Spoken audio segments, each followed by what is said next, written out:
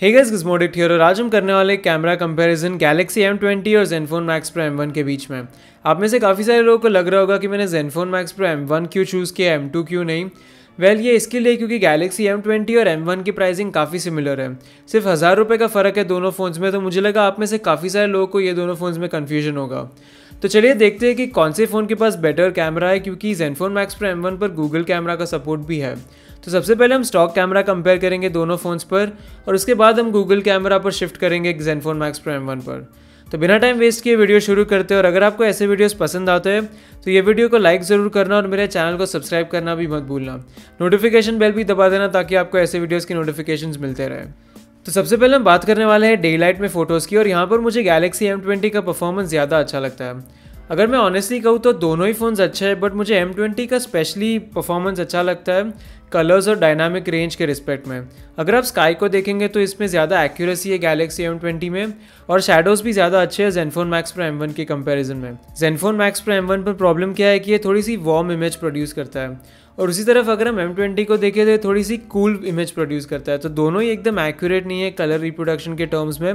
पर अगर हम ओवरऑल फ़ोटो को देखें तो अगर आप दोनों फ़ोटोज़ को साइड बाय साइड रखेंगे तो एम ट्वेंटी के फ़ोटोज़ मुझे ज़्यादा अच्छे लगते हैं। उसी तरह अगर हम इंडोर कंडीशंस की बात करें तो once again Galaxy M twenty की डायनामिक रेंज बेटर है, और इसके फ़ोटोज़ में डिटेलिंग भी ज़्यादा है। अगर आप दोनों फ़ोटोज़ को जूम करेंगे तो आपको पता चलेगा कि एम ट्वेंटी के जो फ़ोटोज़ है, उसमें डिटेलिंग ज़्यादा है, उसमें ज़्यादा डिटेल्स वो रिटेन करता है। तो हाँ इंडोर कंडीशंस में भी मुझे गैलेक्सी एम ट्वेंटी ही ज़्यादा अच्छा लगा।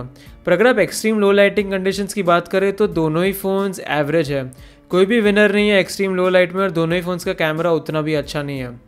अब हम आ जाते हैं रियर कैमरा के पोर्ट्रेट मोड पर और यहाँ पर मुझे गैलेक्सी एम ट्वेंटी का आउटपुट बहुत ही अच्छा लगा। अगर आप जेनफोन मैक्स पर एम पर देखेंगे तो ये बैकग्राउंड काफ़ी बुरी तरह से ब्लो आउट कर देता है और एक्सपोजर ठीक ठाक नहीं है। उसी तरफ़ अगर हम गैलेक्सी एम ट्वेंटी की बात करें तो बैकग्राउंड में डायनामिक रेंज बहुत ही अच्छी है और फ़ोटो में जो फेस है, वो भी काफ़ी अच्छी तरह से एक्सपोज हुआ है गैलेक्सी एम ट्वेंटी पर। पर जहाँ पर गैलेक्सी एम ट्वेंटी मुझे बिल्कुल अच्छा नहीं लगता वो है एच डिटेक्शन अगर आप फ़ोटो को जूम करके देखेंगे तो इसकी एच डिटेक्शन इतनी ख़राब है तो मुझे पता नहीं है कि सैमसंग क्या कर रहा है। बहुत ही बेकार है अगर आप इसे दूसरे फ़ोन से कंपेयर करें तो, तो सैमसंग को इसे डेफिनेटली एक अपडेट के साथ इम्प्रूव करना चाहिए। सीरियसली एच डिटेक्शन बहुत ही ख़राब है गैलेक्सी एम ट्वेंटी पर। बट ओवरऑल अगर हम बात करें तो रियर फेसिंग कैमरा में मुझे गैलेक्सी एम ट्वेंटी डेफिनेटली अच्छा लगा। इसमें एक पाँच मेगापिक्सल का वाइड एंगल सेंसर भी है जो आप यूज़ कर सकते हो कभी कभी ये मुझे उतना यूज़फुल नहीं लगा। थोड़ा सा गिमिक ही लगता है मुझे। आप थोड़े से कूल फ़ोटोज़ ले सकते हो बट उतना भी यूज़फुल नहीं लगता मुझे ये। बट फिर भी पाँच मेगापिक्सल का सेंसर है तो अगर आपको चाहिए तो आप यूज़ कर सकते हो। पर इसकी क्वालिटी जो मेन प्राइमरी सेंसर है, उसके जितनी अच्छी नहीं है और ये एक फिक्स्ड फोकस सेंसर है तो इसमें ऑटो फोकस नहीं है। एनी वेज अब हम आ जाते हैं फ्रंट फेसिंग कैमरा पर तो यहाँ पर अगर आप देखेंगे तो गैलेक्सी एम ट्वेंटी के फ़ोटोज़ थोड़े आर्टिफिशियल लगते हैं।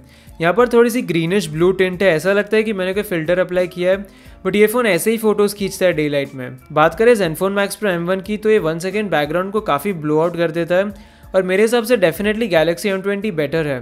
हालाँकि इसमें थोड़ी सी ग्रीनिश ब्लू टिंट आती है, पर अगर आप फ़ोटो साइड बाय साइड देखेंगे तो मैक्स प्रो एम वन के कंपेरिजन में एम ट्वेंटी की सेल्फी ज़्यादा बेटर है। पर उसी तरफ़ अगर हम इंडोर कंडीशंस की बात करें तो दोनों फोन्स में उन्नीस बीस का फ़र्क है, ज़्यादा फ़र्क नहीं है। तो अगर हम स्टॉक कैमरा कंपेयर करने वाले दोनों फोन्स के तो मेरे हिसाब से गैलेक्सी एम ट्वेंटी बेटर है Zenfone Max Pro M one से। अब हम गूगल कैमरा यूज़ करते हैं मैक्स प्रो एम वन पर। गैलेक्सी एम ट्वेंटी पर भी कैमरा टू एपीआई का सपोर्ट है, पर अभी कोई भी गूगल कैमरा का ए इस पर नहीं चल रहा। तो अभी के लिए तो गूगल कैमरा इस फ़ोन पर नहीं चल सकता। अगर फ्यूचर में कोई ऐप आया इसके लिए तो मैं वीडियो बना दूँगा। एनीवेज बात करते हैं गूगल कैमरा की तो यहाँ पर परफॉर्मेंस थोड़ा सा इंप्रूव होता है जेनफोन मैक्स प्रो एम पर। अगर हम डे लाइट की बात करें तो यहाँ पर डायनामिक रेंज काफ़ी बेटर है जेनफोन मैक्स प्रो एम पर। कॉन्ट्रास्ट और कलर्स ये दोनों चीज़ें बेहतर है जेनफोन मैक्स प्रो एम पर बट फिर भी गैलेक्सी एम अभी भी बहुत ही बढ़िया काम कर रहा है। स्पेशली अगर हम जूम करके शेडोज को देखें तो एम में काफ़ी ज़्यादा डिटेलिंग है एम के कंपेरिजन में। तो मुझे नहीं लगता कि एक फ़ोन दूसरे फ़ोन से बेटर है। उसी तरफ़ अगर हम इंडोर शॉट्स की बात करें तो यहाँ पर हाइलाइट्स बहुत ही मस्त है जेनफोन मैक्स प्रो एम पर।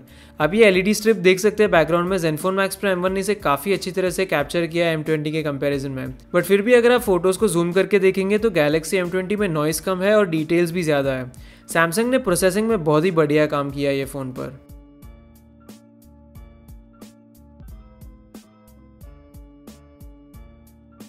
पर अगर हम लो लाइट की बात करें तो यहाँ पर मैक्स प्राइम वन को थोड़ा सा बेनिफिट होता है गूगल कैमरा के साथ।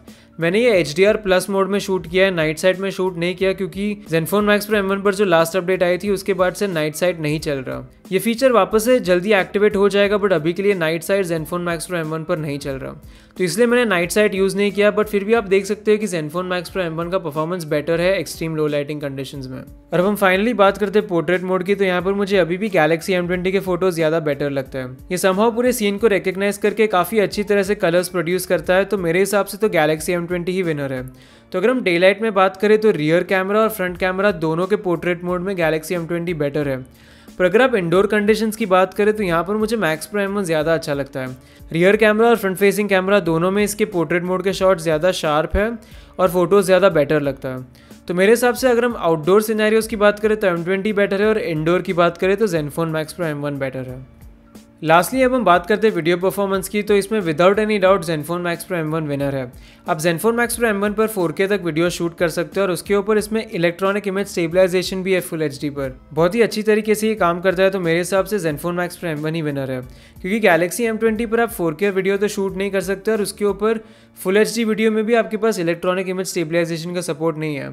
तो ये ज़्यादा फीचर्स ऑफ़र नहीं करता वीडियो रिकॉर्डिंग में तो मेरे हिसाब से Zenfone Max Pro M one ही विनर है। तो अब सवाल ये उठता है कि ओवरऑल किसका कैमरा ज़्यादा बेटर है? वेल ऑनेस्टली मैं खुद कन्फ्यूज़न में हूँ कि कौन सा फ़ोन बेटर है काफ़ी नेक टू नेक कंपेरिजन है।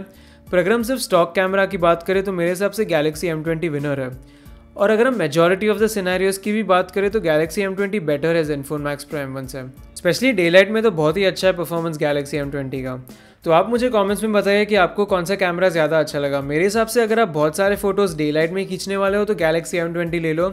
पर उसी तरफ़ अगर आप इंडोर या फिर लो लाइटिंग कंडीशन में ज़्यादा फ़ोटो खींचते हो, और अगर आप वीडियो रिकॉर्डिंग करने वाले हो अपने फ़ोन से तो आप जेनफोन मैक्स प्रो एम ले लेना। तो उसी के साथ अब ये वीडियो को एंड करते हैं। ये था camera comparison Galaxy M twenty और जेनफोन मैक्स प्रो एम के बीच में। मैं बहुत सारे वीडियोज़ लाने वाला हूँ गैलेक्सी एम ट्वेंटी के बारे में तो अगर आपको ये वीडियो अच्छा लगा तो लाइक ज़रूर करना और चैनल को सब्सक्राइब भी कर दो, ताकि आपको ऐसे वीडियोज़ के नोटिफिकेशन मिलते रहें। बेल आइकन दबाना मत भूलना। एनीवेज वीडियो देखने के लिए धन्यवाद, और मैं जल्दी आपके नोटिफिकेशंस में वापस आऊँगा। Thank you